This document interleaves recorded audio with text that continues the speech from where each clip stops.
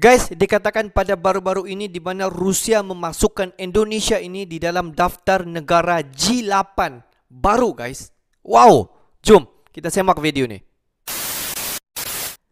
Hello guys. Bismillahirrahmanirrahim. Assalamualaikum warahmatullahi wabarakatuh. Allahumma salli ala sayyidina Muhammad wa ala sayyidina Muhammad. Guys, welcome back again to my YouTube channel guys. Aku Musa dan ini adalah channel YouTube aku Musa bin Muhammadin channel. Kepada subscriber, kepada viewer-viewer yang baru saja masuk ke channel ini, jangan lupa guys untuk memberi sedikit untuk memberi untuk memberi sedikit sokongan kepada channel ini dengan menekan tombol subscribe, like dan komen di bahagian komentar di bawah.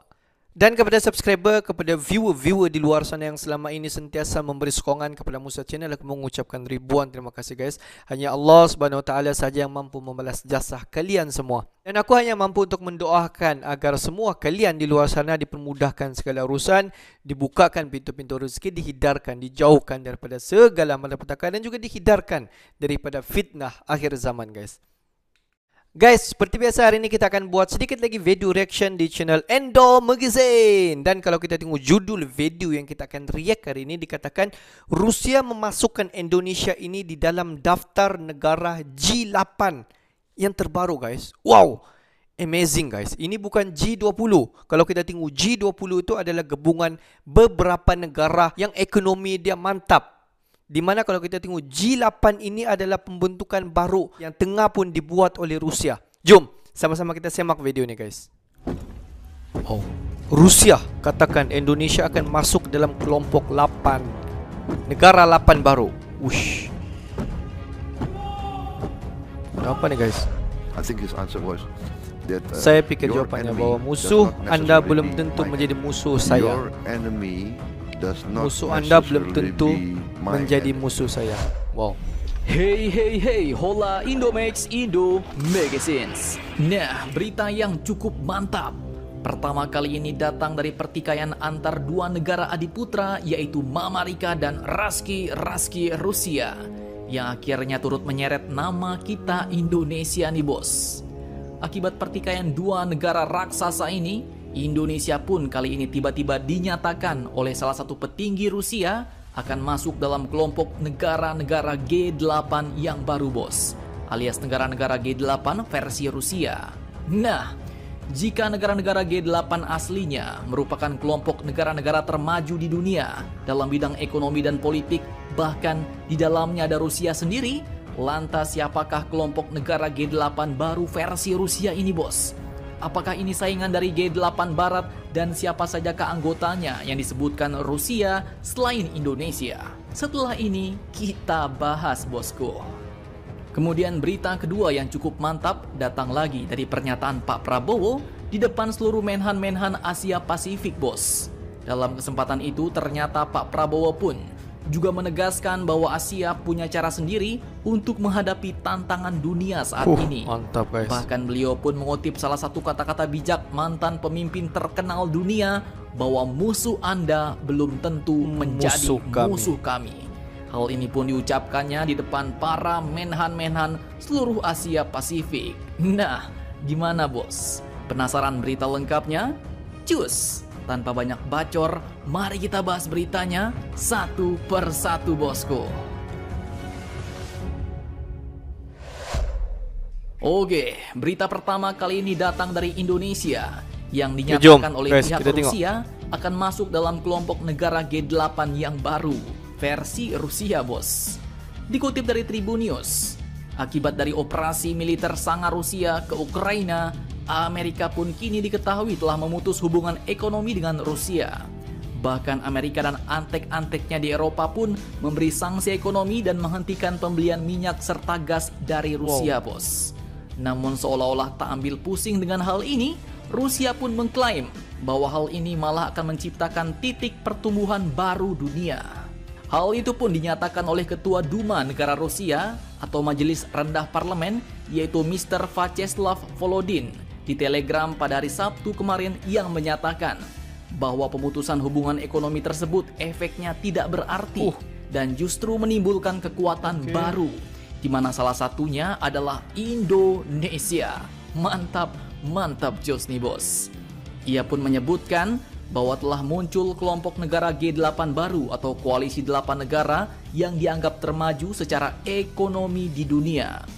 Menurut Ui, ketua parlemen negara. ini, sanksi barat pun telah mengarah pada pembentukan kelompok 8 negara lain, yaitu di antaranya ada China, Kelompok. India, Rusia, Indonesia, Brazil, Meksiko, Iran, dan Turki. Di mana kelompok ini sebanyak 24,4 persen berada di depan kelompok negara-negara G8 yang lama dalam hal PDB dan paritas daya beli. Nah, atas tegang, bawah pun tegang nih bos. Artinya kini, Blok Timur pun memiliki kelompok negara-negara termaju dalam bidang ekonomi di mana salah satunya adalah Indonesia. Bahkan dikatakan bahwa Indonesia. kelompok baru ini berada largest. 24,4 persen di depan kelompok lama bos. Yang sebenarnya kelompok lama itu terdiri dari Kanada, Prancis, Jerman, Italia, Jepang, Inggris, Amerika, dan Rusia sendiri. Namun dengan putusnya hubungan Amerika dan Rusia, serta hantaman sanksi barat Eropa kepada Rusia, maka otomatis Rusia pun mungkin tak dianggap dalam kerjasama negara-negara G8 yang lama. Sehingga Volodin pun mengatakan bahwa Amerika Serikat dengan tangannya sendiri telah menciptakan kondisi bagi negara-negara yang mau membangun dialog Amerika yang setara Serikat. dan hubungan yang saling menguntungkan untuk benar-benar membentuk kelompok G8 yang baru Kelompok dengan Rusia. G8. Nah, apakah China, Rusia, India, Indonesia, Brazil, Meksiko, Iran dan Meksiko, Turki Iran, akan bersatu Turki. untuk menyaingi ekonomi-ekonomi negara-negara elit global dari pihak barat? Kita nantikan saja berita selanjutnya, Bos. Guys, seperti apa yang kita tahu mungkin pada sebelum ini adalah kelompok G20. Di mana kalau kita tengok di dalam kelompok G20 ini adalah negara-negara yang bergabung di dalam G20 ini adalah negara-negara yang mempunyai sistem ekonomi yang kuat yang memang sistem ekonomi yang maju di mana G20 ini di, diketuai oleh Amerika Syarikat sendiri guys. Di mana kalau kita tengok di sebalik apa yang berlaku di antara Rusia dengan Ukraina di mana hubungan di antara Rusia dan juga Amerika Syarikat sejak kebelakangan ini tidak begitu baik dan dikatakan uh, hubungan yang renggang dan dikatakan Rusia telah membentuk satu lagi yang dikenali sebagai kelompok G8 guys. Di mana kalau kita tengok uh, kelompok G8 ini juga uh, adalah mempunyai satu kelompok negara-negara di dunia ini yang mempunyai satu sistem dan juga mempunyai ekonomi negara yang kukuh. Kalau kita tengok negara yang akan join G8 ini adalah seperti negara China, India, Rusia, Indonesia, Brazil, Meksiko, Iran dan juga Turki. Wow guys. Di mana kalau kita tengok secara tidak langsung yang akan menguatai kelompok G8 ini adalah Rusia sendiri guys. Di mana kalau kita tengok akibat daripada ketidaksefahaman bersama dengan Rusia dan juga Amerika Syarikat di mana Rusia ini akan mengundur diri daripada G20 dan akan membentuk satu lagi kelompok baru yang dikenali sebagai G8. Ini adalah yang diperkatakan wakil daripada salah satu menteri daripada Rusia yang menyatakan akan membuat satu kelompok yang dikenali sebagai G8. Jadi guys, sama-samalah kita tunggu berita seterusnya apa yang akan terjadi terhadap kelompok G8 ini. Adakah ke-8-8 negara yang kita sebutkan sebentar tadi seperti China, India, Rusia, Indonesia, Brazil, Meksiko, Iran dan Turki ini akan memasuki kelompok G8 ataupun mereka ini akan stay terus bersama dengan G20 di mana G20 ini yang dikotai oleh Amerika Syarikat. Jadi pendapat kalian semua bagaimana? Adakah Indonesia harus uh, mengikuti G8 ataupun akan stay bersama dengan G20? Bagaimana guys? Okay guys, untuk hari ini sampai di sini saja sedikit information daripada Musa Channel dan kepada subscriber, kepada viewer-viewer di luar sana yang belum lagi klik button subscribe, please guys klik tombol subscribe, like dan komen di bahagian komentar sekarang guys. Sekarang, sekarang. Okay guys, akhir kata daripada Musa Channel. Thanks for watching my video. Assalamualaikum warahmatullahi wabarakatuh. See you the next video.